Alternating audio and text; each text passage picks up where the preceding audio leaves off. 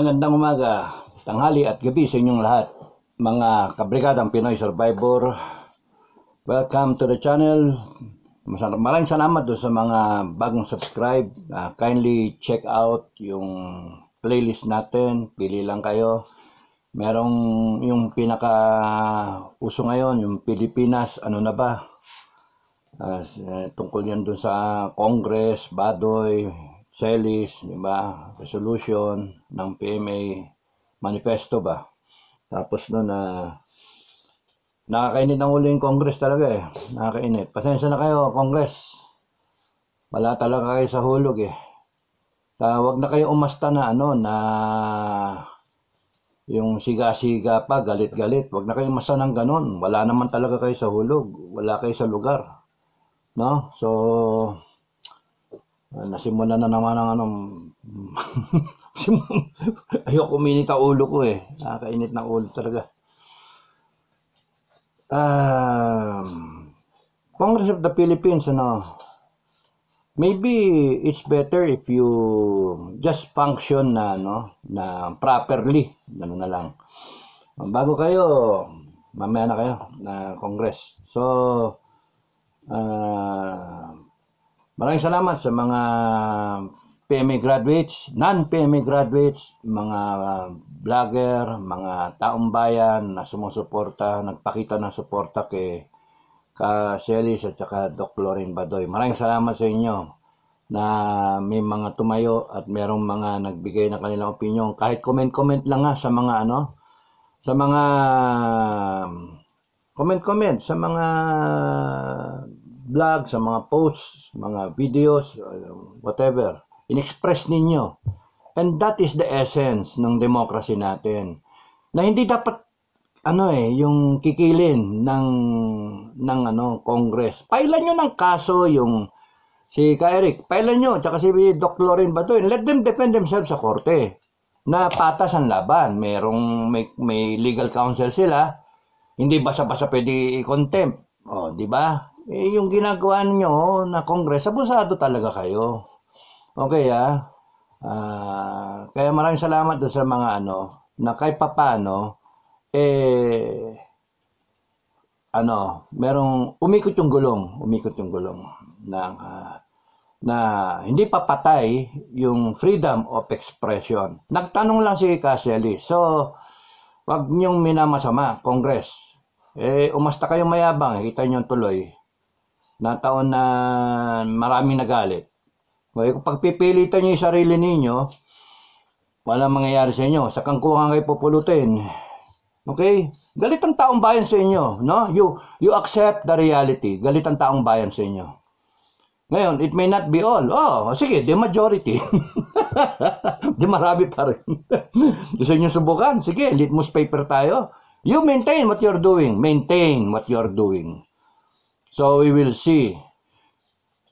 Honestly, ako, tingin ko sa inyo, wala kayong, wala na kayong ano, kredibilidad. Wala kayong, wala kayong ano eh. Kung may natitira, ganyan na lang siguro, ganun kaliit. Wala eh. Wasak eh. Wasak na wasak kayo.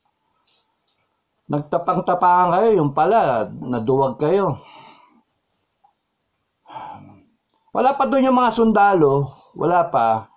Marami nagparamdam ng mga sundalo na sila rin gagawa ng manifesto, uh, sila rin pipirma, yung ganun ba. Next time, pwede ba, hindi lang kayo yung pumirma, mga pimayor. Oh, pati yung mga reserve, nagagalit, nawala yung pangalan nila. Pati yung mga sundalo, bakit kayo lang? Bakit? Nung gera ba? Nung nagpapatayan nun? Nung nasa field assignment tayo, mga opisyal lang ba nagpapatrolya? Di ba sundalo? O, sa isang team, ilan ang sundalo? O, pito, anim, as isang opisyal. Eh, kaya nga, walang iwanan. Ganon, yan ang mga hinanakit ng mga sundalo. Okay? So, maraming sundalo. Eh, may mga active pa. kaya nga ano eh. So, to summarize yung mga nakaraan na vlog, to summarize, uh, sabi ko, may mga pwede mangyari pagka yung, yung Congress umasta na hindi tama. Kung insisting, insisting, no? Uh, dapat tumigil, ah, dapat lubayan nyo na yung mga, yung kay, ka Eric na yan, tsaka kay Doc Loren Badoy. Kaya, kayaan yung korte. Sige, kasuhan nyo. Sige, kasuhan nyo. Let them defend themselves. Ganun lang.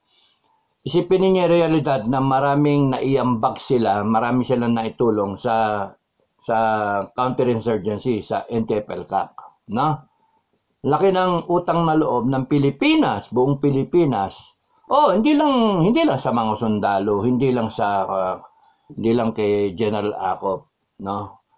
Pero tayong mga mga ika nga na nanggaling sa mga assignment, mga veterano ng counterinsurgency, ke ke naging sundalo man o maging rebel returnee, ah uh, hindi naman natin nga hawak yung ano, yung uh, yung lahat ng accolades, no, yung lahat ng accomplishment. It is it is a team effort. So dapat no single party will will ano will uh, claim the credit. Si Doc Loren maliwanag, hindi naman siya nagki-claim ng credit eh. Sinabi lang niya na mahal niya yung bansa eh. Masama po sabihin, ako mahal ko bansa oh. O kayo, mahal nyo rin yung bansa. O dila tayo, love natin yung country. Pero kayo, patunayan ninyo. Kayo ang nasa office, Congress. Kayo ang binoto ng tao. Meron kayo, nasa posisyon kayo ng gobyerno. Public office is a public uh, trust. O, ako wala akong papatunayan. Kayo, kailangan kayong honest to goodness kayo, kinakailangan honorable kayo. Inapiksin nyo yung pangalan, yung posisyon, congressman, congresswoman, senator, no? inapik sa inyo o whatever na ek-ek na pangalan sa gobyerno, yung title, sinusweldohan kayo ng taong bayan. Kaya dapat ku meron kayong humility. Humility. Hindi yung hindi yung astang mayabang pa kayo. Kung kailan eleksyon ng babait ninyo, oh, ligaw-ligawan nyo, sayo-sayo pa kayo. Oh, kamay-kamay kayong ganyan, bigay-bigay kayo ng kung ano-ano, mga plastic. Tapos pagdating ng may posisyon na, ang yayabang. Uh, feeling arrogante, feeling uh, high and mighty. Nakakainis kayo. Kaya galit ang taong bayan eh. Ako mismo galit ako. Galit ako. No? Bira ako magalit. Bira ako yung yung uh, kukulo yung dugo ko ba. Nananahimik ako eh. Nananahimik ako sa in my neck of the woods. No? makakapanood ka ng ganon? Talagang kulo dugo ko eh. Okay, so ay nako. Uh, ang tao Pilipino, mga Pilipino, simple lang sila. Simple lang eh. Nagkakayod ang mga Pilipino eh. Linchak yung iba nga nasa OFW, iniwanan yung pamilya, merong mga may mga alagang bata, may mga pinalalaking mga bata, yung nanay nasa abroad o yung tatay nasa abroad breakaway sila yung, yung magkaiwala yung pamilya. Ah, para lang hindi na, para din nila masab, mas kasabikan yung pamilya. Trabaho, trabaho, trabaho. Ganun lang eh. Tapos nun, mababalitaan nila sa taxes nila. Kaltas, kaltas, kaltas. Oh, yung sweldo, ilang percent pa. Oh, tapos nun eh, may bat pa. And then, ganyan kayo. Merong resolution number 10 kaya nga, tama si Sas.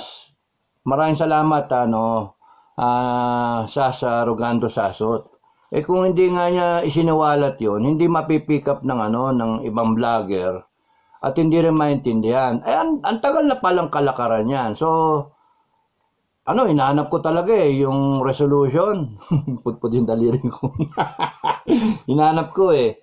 So, ano, uh, in passing, no, tsaka para matulin resolution number 10 eh inano ni Senator Lacson yung iba sa inyo alam na pero yung hindi pa nap napapakinggan ito punot dulo eh ng ano na yan sila Celis at saka si Badoy nagtanong lang nagtanong lang sa SMNI ngayon kinontempt yung dalawa pinalalabas pina, pina, pinipilit sabihin kung sino yung source na nagsabi na nag ng ng data o ng impormasyon sa kanila, sino source nyo? Sino? Sabihin nyo, sabihin nyo.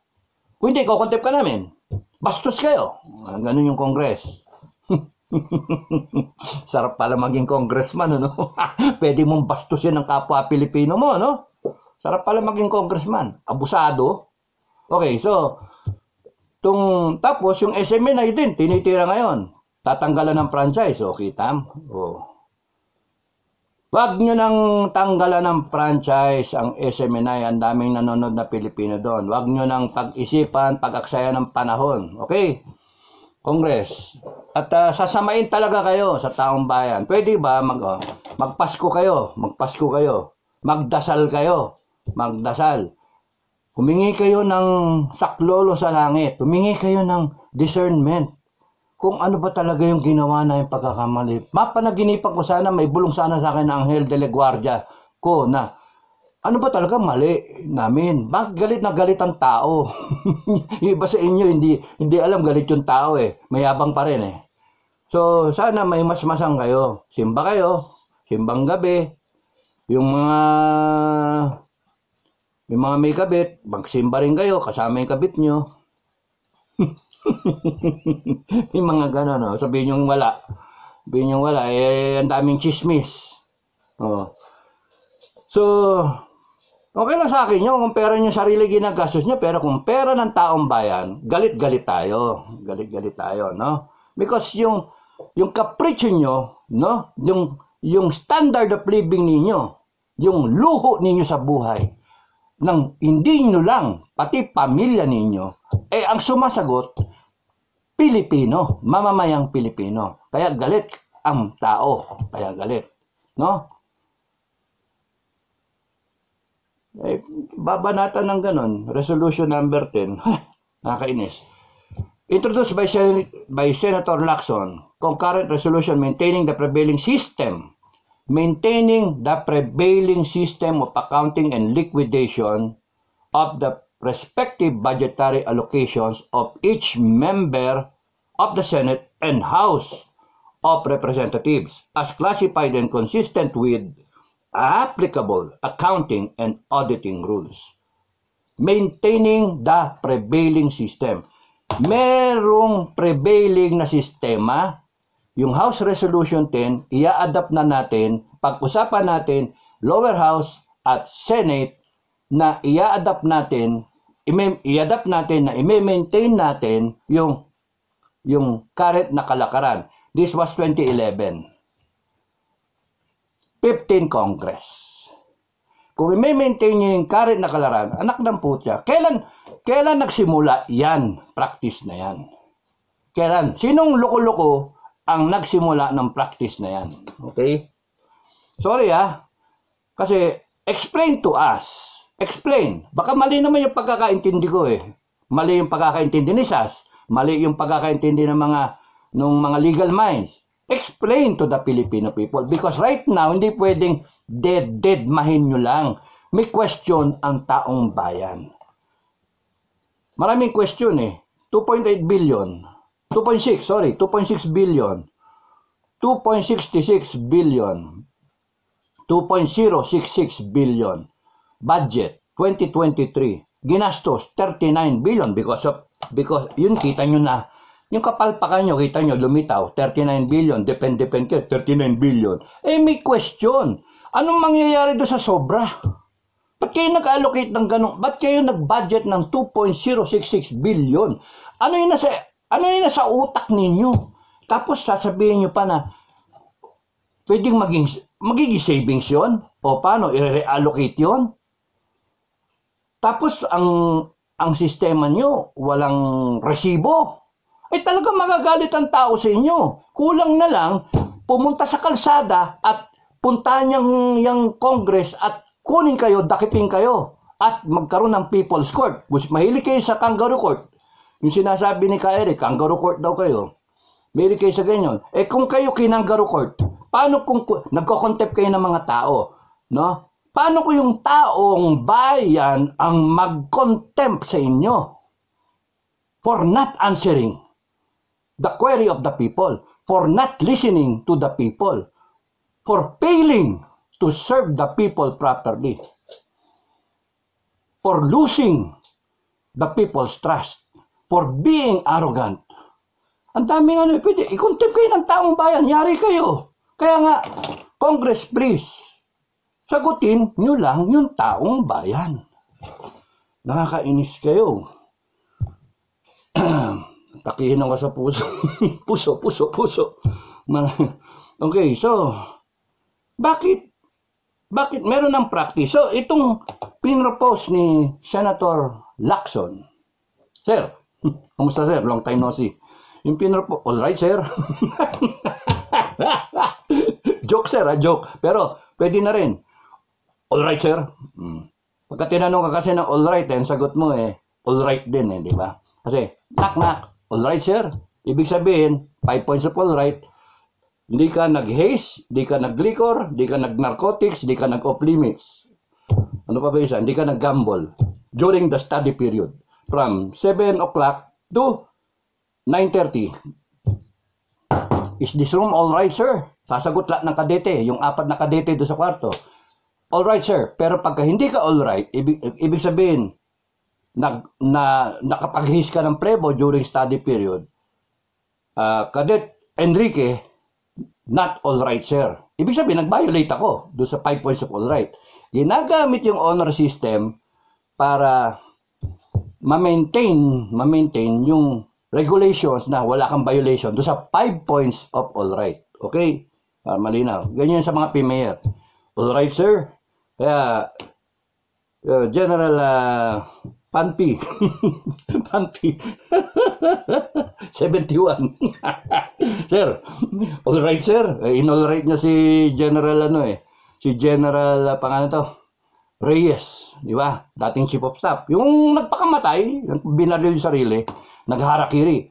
Hoy, kong, Congress, huwag niyong gagawin yan, ha? huwag niyong gagayahin si, si General Reyes. Wag, wag, wag, wag. Baka sakaling eh, may problema talaga kay kulong na lang namin kayo. Pag, sabi ni General Reyes, yung pabaon daw sa, sa na tinanong na tinanong ni Trillanes, na, na ano siguro natauhan si General Reyes. Puta nang ta, loko-loko tong bata na to, class 95 to. Bata-bata nito, pinapaya ako sa sa buong bansa eh, no? eh 60 si General ano eh, late 60 si General Reyes eh. uh, tapos nun eh, uh, all right sir, uh, ginano ni, ni, ni Senator Lacson, o de, hindi makasagot eh. Tapos tumatawa si General Lacson. Eh, naging, naging ano yon talk of the town yung all right, all right na yan. Eh, yung pala si sir eh, Alright, sir. meron kang meron ka palang meron kasi admit. Ang ako uh, feeling ko no, ang aking ang aking uh, opinion. Senate Resolution 10, uh, 10 when you adopted it uh, was a failed opportunity.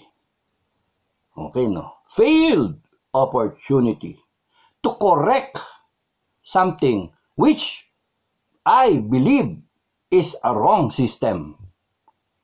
And a lot of people now believe it is a wrong system. Tama ba yung mag mag uh, lilik ano tawag doon? Mag uh, liquidate ka by way of certificate. Bakit by way of certificate lang? Kasi nga honorable ka eh. eh paano kung di honorable, paano kung magnanakaw? Kasi merong mga congressman, di ba, na nagkakaroon ng kaso. O therefore, hindi honorable. Merong nag-rape, di ba? May, na, may, rape, may, may rapist yata na congressman, di ba? Meron ba? O may murder pa, di ba? O tapos merong mga malversation of funds, di ba? O, do, so, delikado yung ginawa niyong resolution 10 because it will breed corruption. Okay? So, uh, resolved by the Senate, the House of Representatives, concurring that. So, kaya concurrent resolution, both, both uh, upper and lower house. Whereas the House of Representatives on June 7, 2011, on tagal na, and the Senate of the Philippines on June 8, 2011, adopted concurrent resolution number 5 entitled Concurrent Resolution confirming the authority conferred by law upon the Senate President and the Speaker of the House of Representatives to fix and determine the salaries, allowances, and other benefits of officials and employees, blah, blah, blah. Haba. and to determine and address the budgetary requirements of their respective personnel. Oh, daming ano, no? parang ganun-ganun, ano? Uh, parang kalsada eh. Uh, mga palimuti, no? Palamuti. Tapos, and, and service units as they may deem in the best interest of the service subject to the limitations set by the Constitution and the General Appropriation Act. Whereas Section 25.5, ano yun? Article 6 of the Constitution provides that, mamit sila ng Constitution, nag-cite ng provision, that the Senate President and the Speaker of the House of Rep Representatives may by law be authorized to augment, dagdagan, any item in the General Appropriations Law, kunyari 2023, any item in the 2023 Appropriations Law, authorize ang Speaker of the House at saka Speaker ng House of Representatives. Uh, Senate President, I mean. Uh, Senate President and the Speaker of the House may by law augment any item in the uh, General Appropriations Law for their respective offices from savings in order in other items of their respective appropriations. Intindihan nyo? Kamot ng ulo. Whereas, Section 20, Article 6 of the Constitution provides that the records and books of accounts of the Congress shall be preserved and be open to the public. Open naman pala sa public eh. O anong mm, anong inaano nyo, inaangas ninyo? Open naman sa public, bayan. Oh, in accordance with law and such book shall be audited by the Commission on Audit which shall publish annually in an itemized an itemized list of amounts paid to to and expenses incurred for each member. Itemized. Whereas, the Senate, yun yung sabi ng Constitution, itemized. Kasi yung libro, open to the public, and it shall be, yung lahat ng ginastos, um, lahat ng pera na binigay at ginastos ng bawat member ng House of Representatives at ng Senate will be audited by COA, which shall be published annually an itemized list of amounts. Okay? Maliwanag, no? yung una, na paragraph, na, yung unang whereas, savings, pwedeng uh, i-augment sa whatever item pa within the appropriations ng kanyang uh, institution. So, authorize yung Senate President at saka yung House of Representatives. Yung mga legal minds, kayo na lang mag-explain, ano? Pagka meron kayong ano, explain nyo sa comment section, ano? Ah, tapos, uh, bakit ba di ako nag-law? Mali ako ng profesyon. Kung nag-lawyer ako, de sana congressman ako. Whereas, the Senate and the House of Representatives are fully cognizant of their duty and responsibility to account to the public for the use of expenditure of public funds appropriated under their respective budgetary allocations under the uh, GAA and have faithfully abided faithfully abided by the by the established auditing rules and regulations applicable to the legislature. Ang daming whereas. Whereas in recognition to the delicate and unique, ito, in recognition of the delicate and unique nature of the functions, comma, operational and organizational structures of the Senate and House of Representatives, the Commission on Appointments and the Senate and House Electoral tri Tribunals, the Commission on Audit has consistently allowed the current system of liquidation by way of certification. So, ibig sabihin, since yung COA pumapayag na dati pa, consistently, inaalaw niya yung current system ng liquidation by way of certification, so parang gina-justify ngayon na i-adapt natin the same, i-maintain natin yung sistema na to. Duly signed by each senator, by each senator, liquidation by way of certification. But, certification.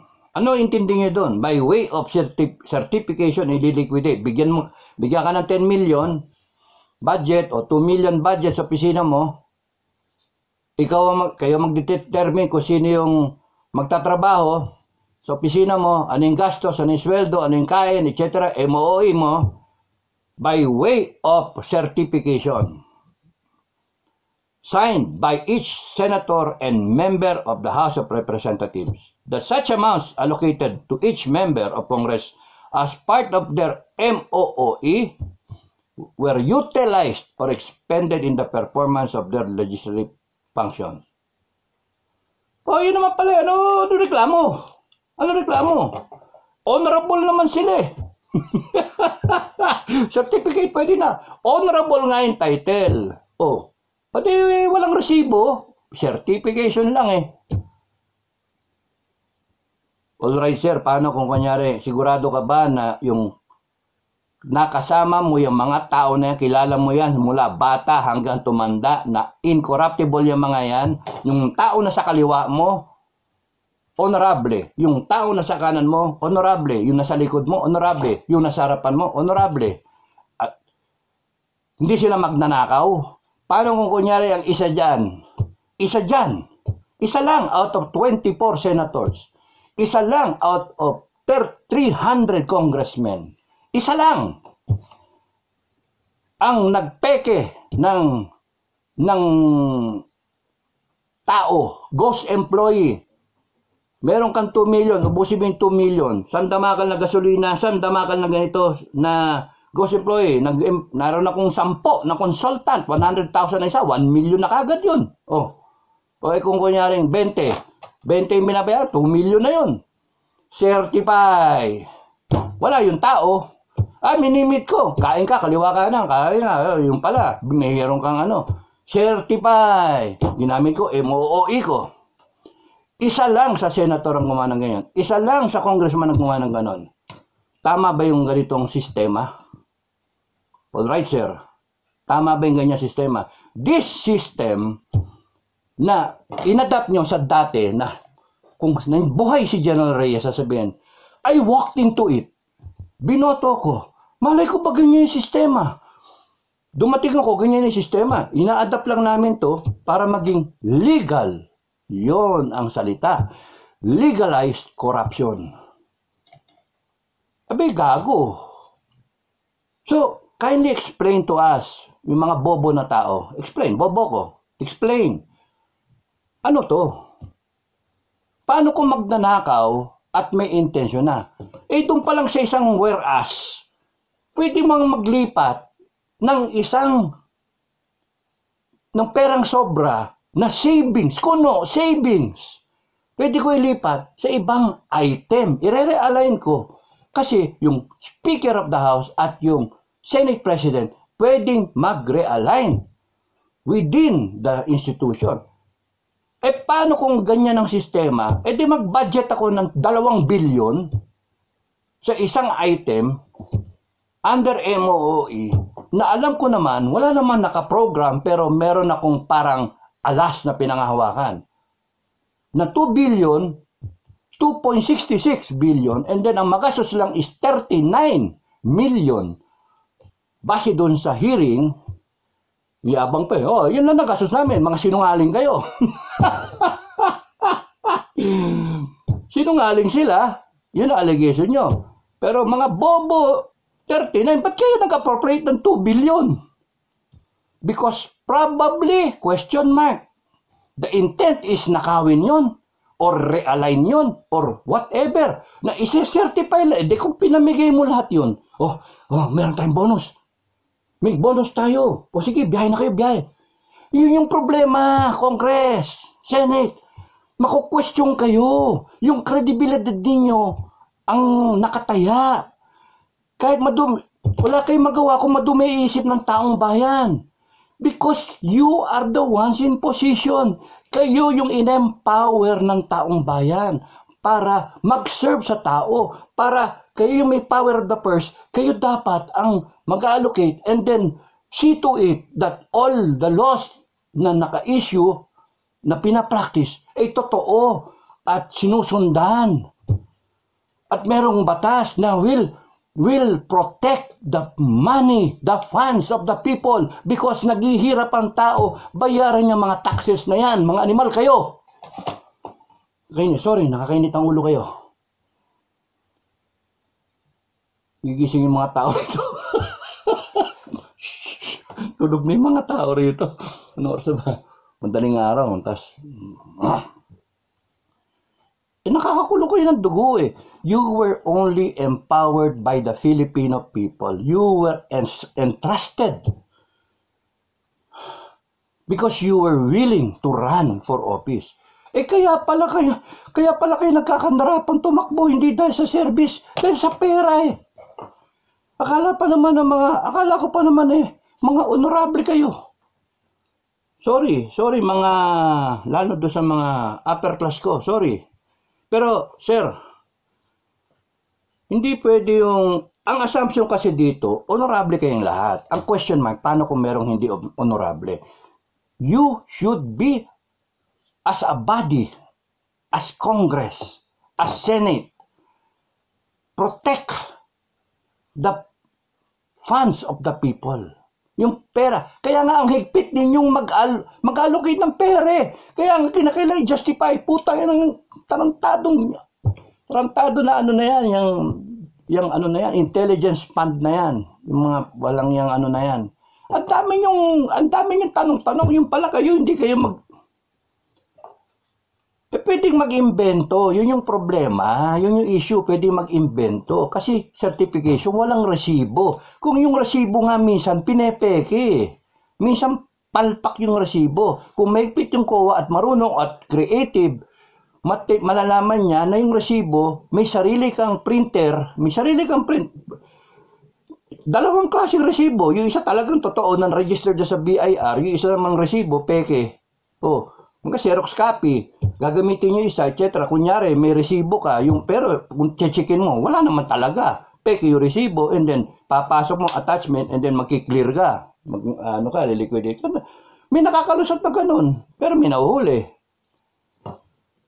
Ah, so, paano kung may intention? Eh, ito pa lang kita na kagad may intention. That's why pala, yung 2 billion, hindi naman yun yung historic, yung ba yung historical yung biyahe na previously 2 billion.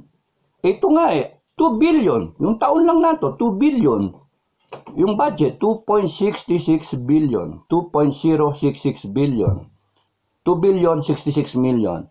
Nagastos 39 million. May natira, butal. 2 billion something, 27 to 2 billion 26 million, mga ganon. Thereabouts. Uh, you do the math. So, naggastos, may butal kasi, 30, 39 point something. 0.7 yata. So, yung, yung kumbaga sa ano, kaya, ano mangyayari doon sa 2 billion? Question again. Question. Madumi utak ng tao. Balik kayo at the time ng binabudget yan. Naghihiring pa lang kayo. Was there an intention na isi-savings nyo yan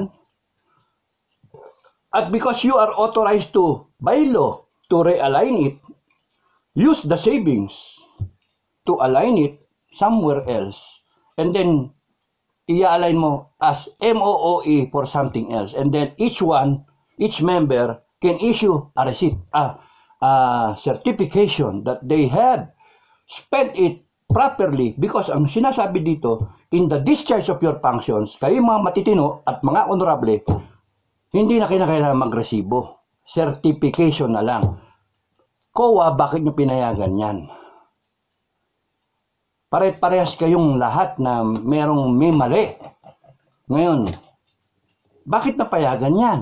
Kasi nga, ang problem sa sistema, Sino ba nag-allocate ng pera? Sa COA. Eh may kailangan ng pera ang COA sa Congress. O di ipitin niya yung pera, kailangan niya yung budget. Ganon din sa, sa justice. Pagka may kailangan pera, ipitin din ng Congress. Bigay. Lahat, lahat ng agencies, ganun eh. Scratch my back, scratch your back. Power of the purse nga eh. O, huwag kayo magplastikan. Kunwaring hindi totoo. Totoo naman, ganun na nangyayari sa ano sa budget allocation. Labi-labi, bib- okay. So, akin na ulo. Whereas the prevailing procedure and system of liquidation of the various classifications of accounts covering the budgetary allocation for the leg- legislature is in keeping with the nature of the performance of the members of the Senate and the House of Representatives and their respective committees of their legislative oversight and constituent functions and responsibilities. Now, therefore, be it resolved as it is hereby resolved by the Senate, the House of Representatives concurring that the prevailing, system of accounting and liquidation, prevailing system of accounting and liquidation, so yung, yung meron ng sistema, we walk into it, ganyan na yung sistema. Ina-adapt lang namin. I-maintain lang namin sistema. Of the respective budgetary allocations of each member of Senate and HOR as classified and consistent with applicable accounting and auditing rules shall be maintained. Pero, wala, nasan yung resibo? Di ba? Pero nasabi ng konstitusyon. Ano sabi ng konstitusyon?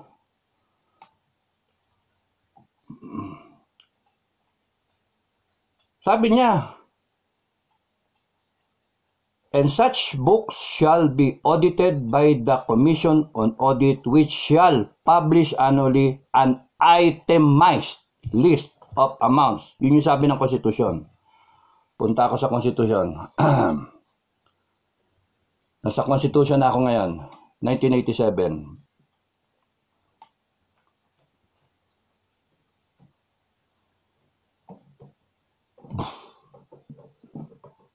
Mawala yung constitution. Mawala yung constitution. Okay naman to. Ito.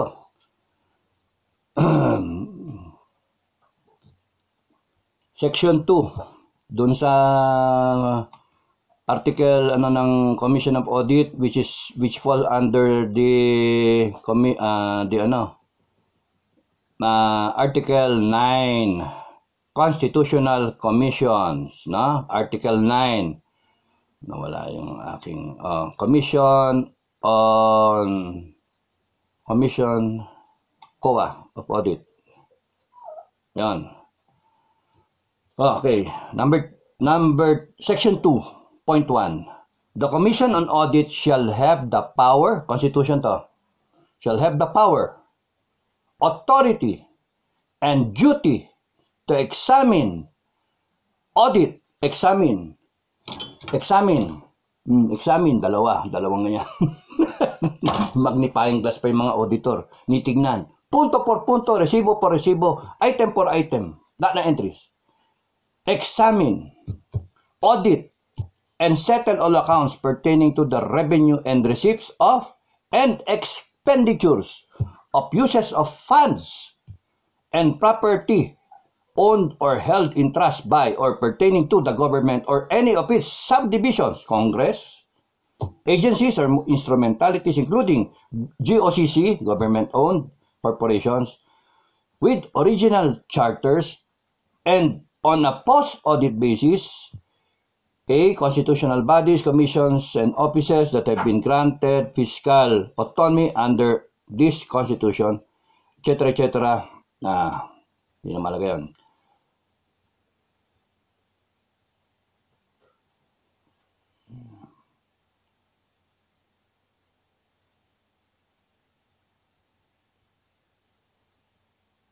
Which are required by law or the granting institution to submit to such audit as a condition of subsidy or equity. However, there where the internal control system of the audited agencies is inadequate, the Commission may adopt such measures, including temporary or special pre-audit, as the are necessary and appropriate to correct deficiencies. It shall keep the general accounts of government and, for such period as may be provided by law, preserve the vouchers and other supporting papers pertaining thereto. The Commission shall have Number two, the Commission shall have exclusive authority. Exclusive authority. Subject to the limitations in this article.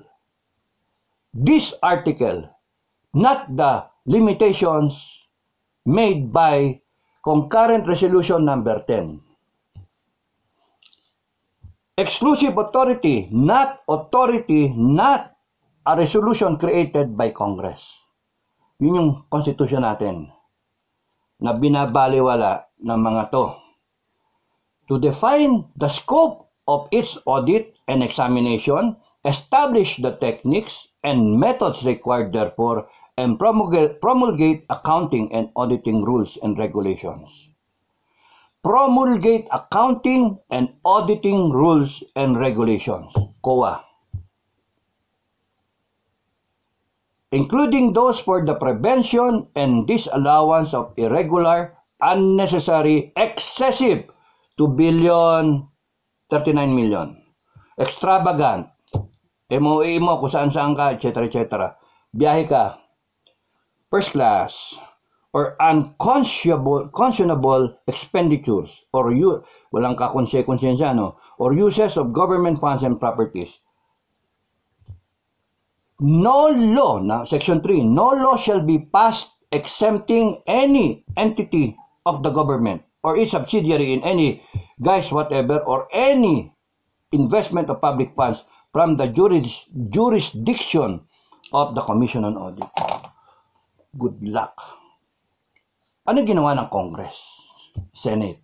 Concurrent resolution na ang daming ek-ek, whereas, whereas, whereas, whereas, ngayon, classified na yung ano nyo, hindi na pwedeng tingnan kasi nag understood naman na ginagawa namin trabaho namin, mabusisi, daming bla bla, daming ek-ek. Kontento na kayo, makontento kayo sa certification ng bawat isang honorable. Tama ba yon? At di ba mali? Ba't pumayag yung COA? So, bakit? So, may mga tanong. Kaya nga dapat magkaroon ng investigasyon to eh. Eh, sino mag-iimbestiga? Congress. o People's Court ang mag-iimbestiga. Ay, nako. Eh, delegado kayo. Okay. So, yun yung sinasabi ng, ano, ng konstitusyon. Ah. Eh, yun yung umpisa ng, umpisa ng konstitusyon. Pa, nandun na rin lang tayo sa Constitution para maram, ano tayo, matulin. Okay. Bear with me, no? Okay.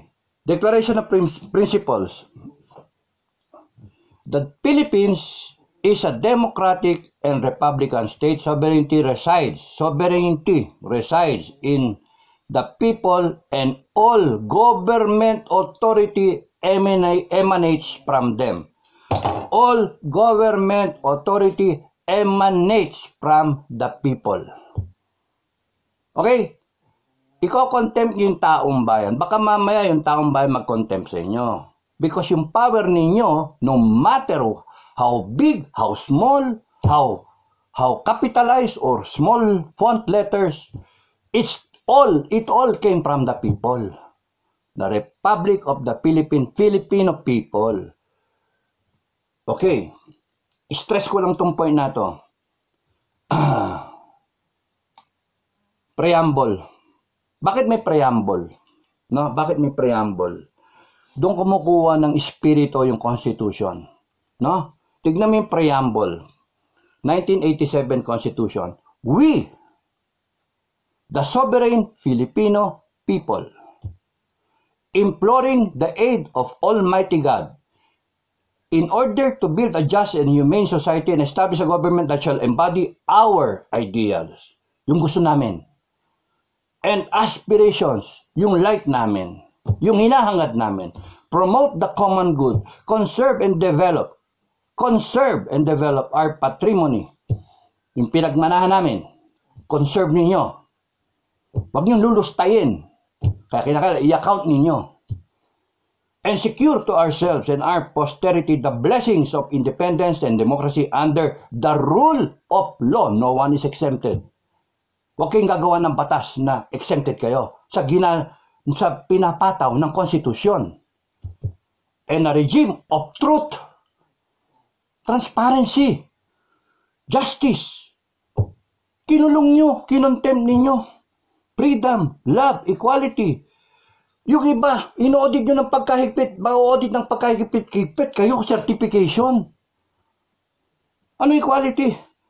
And peace do ordain and promulgate this constitution. Yung constitution, lahat ng buong constitution from Article 1 to Article 8, kumukuha ng buhay, ng spirito sa taong bayan. Ang mali ninyo, Congress, yumabang kayo. Nakalimutan ninyo, public office is public trust, nakalimutan ninyo na in-empower lang kayo ng taong bayan. We, the sovereign Filipino people, Filipino people imploring the aid of the divine providence. In, yun yung inabutan ko. 1973 yon. Ngayong 87, imploring the aid of all, imploring the aid of Almighty God. Ano mas mataas sa taong bayan? Almighty God. Ang susunod doon, Filipino people, we the sovereign, may, may nakalagay pag sovereign Filipino people, imploring the aid of Almighty God Nasaan ang, sino susunod dito? Co-equal branches. Co-equal. No? Executive, legislative, judiciary, all empowered by the Filipino people. Yung mga appointed, appointed people, binoto ng tao, yung presidente, nandito yung presidente, nandito yung taong bayan. Kaya kinakailangan eleksyon para ma-determine sino yung magpapatakbo ng bansa, sino yung iupo sa executive. Now, yung judiciary, appoint na lang ng presidente, ng presidente na i-approve naman ng ano. Ah, baliktad. I-recommend ng Judicial Bar Council and then i-appoint ng presidente. Because yung presidente, binoto ng taong bayan. God, Filipino people, and dito kayong lahat, presidente ng Pilipinas, executive ha, Malacanang, legislative, Congress, senators, at judiciary. Nasa ng Filipino people, nasa itaas. E babastusin nyo, hindi nyo papakinggan, dededmahin ninyo, iko-contempt kayo ng taong bayan. Yun yung aking warning sa inyo. Ililegalize ninyo to, tapos dededmay yung resolution number 10, tapos dededmahin ninyo ang taong bayan. Mali yun. Mali. Nakakalimutan nyo. 1987 Constitution. Hmm. Serious ako masyado. baka, baka hindi ako matunawa na 19, 1987 Constitution. Ngayon, punta tayo sa um, ano ba ito? Ang dami dito ah. ah. Ito. 1987 yon. We, the sovereign Filipino people. Punta tayo sa 1973. We, the sovereign Filipino people, imploring the aid of the divine providence. Ito yung nabutan ko, high school. Pinapakabisado. In order to establish a government that shall embody our ideals, promote the general welfare. Oh, isa, nandito yung pumirma sa ano, sa manifesto. Si General Welfare. okay that shall embody our ideals, promote the general welfare, conserve and develop the patrimony of our nation, and secure to ourselves and our posterity the blessings of democracy under a regime of justice, peace, liberty, and equality do ordain. Sino nag-ordain sa Constitution? Taong bayan. Eh, ba't mas marunong pa kayo sa taong bayan? pinayagan lang kayo ng taong bayan, dinelegate sa inyo yung power, yung authority ng taong bayan. Yung collective power ng taong bayan, ibinigay sa inyo. Pero wag niyong gagamitin yung power na yon para tarantaduhin ang taong bayan. You see? Okay, 1935 Constitution. So, yun pa rin. We, the sovereign Filipino people. Punta tayo sa 1935. Tanda na to, 1935, 19 kopong-kopong, bago pa ng gera. The Filipino people imploring the aid of divine providence in order to establish a government that shall embody our ideas, conserve and develop the patrimony of the nation, promote the general welfare, and secure to themselves and their posterity the blessings of independence under regime, a regime of justice, liberty, and democracy. Yun din eh. Yun din. Ang nakakaiba lang is yung harapan. The Filipino people yung sumunod, 73, ito 35, the Filipino people. Yung 1935, yung 1973, we, the sovereign Filipino people. Oh. Tapos yung 1987, um, we, the sovereign Filipino people. Tama? Hmm. Wala. Nawala yung ano. So, ang pinakakaiba is yung divine providence, yung isa is Almighty God. Pero the same principle. People, mas mataas sa people. God, imploring the aid of Almighty God. Di ba? Hindi sinabi ng preamble, we, the House of Representatives, we, the people in Malacanang, we, the judiciary, We, the Congress of the Republic of the Philippines. We, the Senate of the Philippines. Hindi. Ha? Ibaw nyo sa utak nyo. Congress, Senate. We, the sovereign people.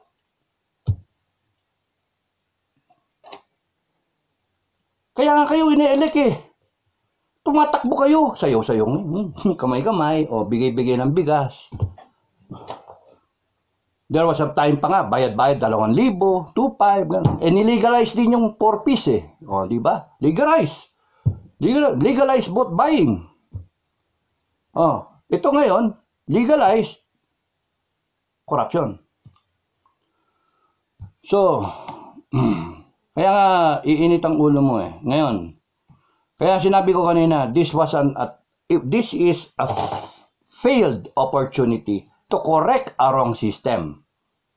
Meron na existing system. Mali yung system. What? I don't know what you were thinking, people in the Senate and Congress, in 15 Congress, I don't know what you were thinking. You had the opportunity to correct it. But what you did, you adapted it. Yung maling practice. Pumayag ang COA na uto-uto. Oh. Tapos nun, hindi pa natapos yon ha. Inadapt nyo 15. Yung sumunod, 16, 17, 18, 19. Nasa 19 tayo ngayon. The same. Ah. Kaya galit ang tao. Niloloko nyo tao eh. Ngayon, explain to us. Baka mali yung intindi namin. Baka mali. Sabihin nyo sa amin, mali yung intindi namin. Ganito. Okay, sa amin, ang intindi namin, eh, basta pagka-audit, kinakaila resibo. Kaya kahit anong ganun-ganun gawin nyo eh. Huwag nyo i-list yung topic. Tigilan nyo yung SMNI na yan. Tigilan nyo. Tigilan nyo yung cha-cha. Tigilan nyo. Tigilan nyo yung mga, yung pang, pang,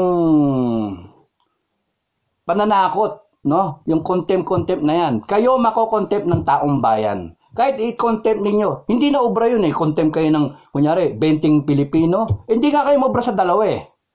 Hindi kayo mobra sa dalawa. Celis tsaka Badoy. Hindi kayo mobra doon. Ngayon mag-contempt kayo ng 10, 20, whatever. Isang milyon Pilipino contempt ninyo. Magagalit lalo ang tao sa inyo at pupunta sa kalsada ang taong bayan. Simple lang ang hinihingi ng taong bayan. Simple. Explain. Resibo, open the books.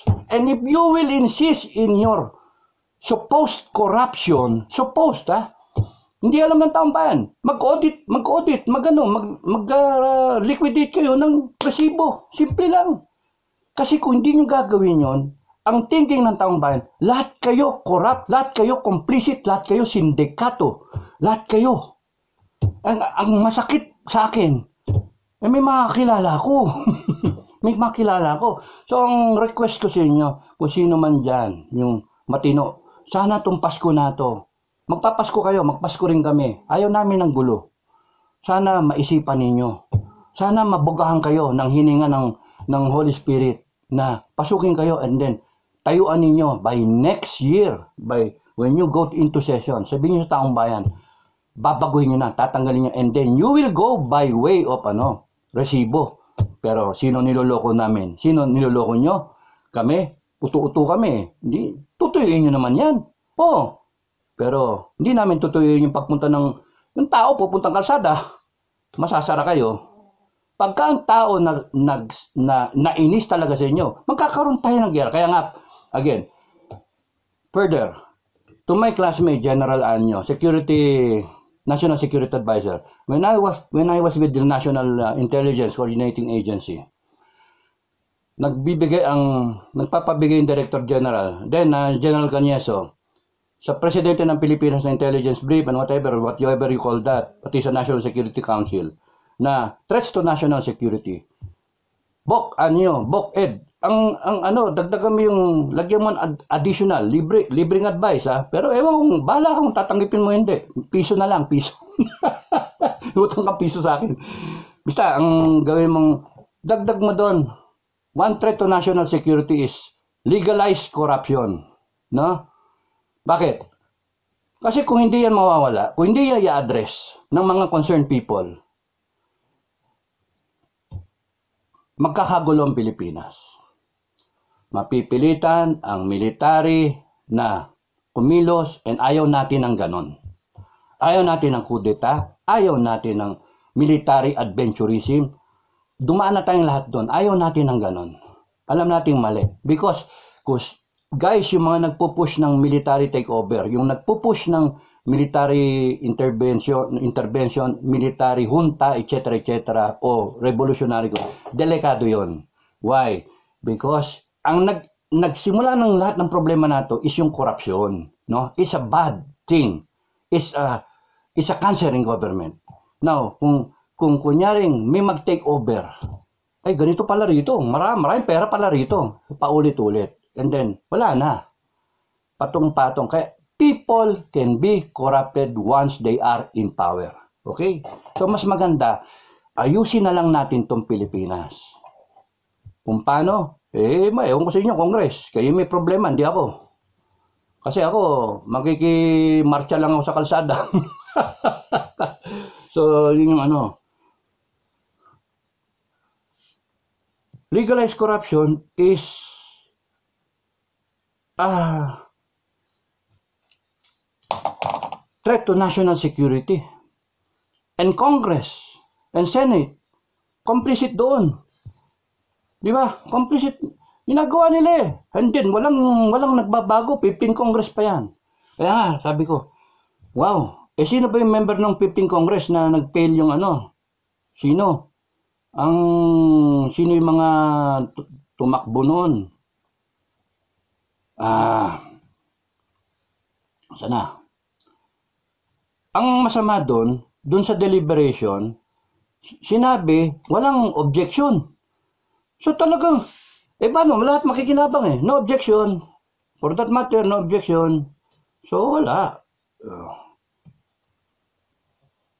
So, itignan ko kung masasali ko na lang dito sa description yung ano, yung link no ng uh, kung nasaan yung Senate resolution na yun, yung ano, concurrent resolution.